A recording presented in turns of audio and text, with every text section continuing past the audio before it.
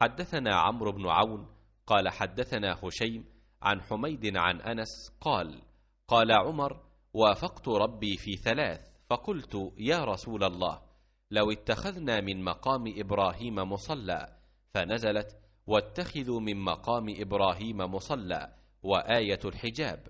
قلت يا رسول الله لو أمرت نساءك أن يحتجبن فإنه يكلمهن البر والفاجر فنزلت آية الحجاب. واجتمع نساء النبي صلى الله عليه وسلم في الغيرة عليه فقلت لهن عسى ربه إن طلقكن أن يبدله أزواجا خيرا منكن. فنزلت هذه الآية.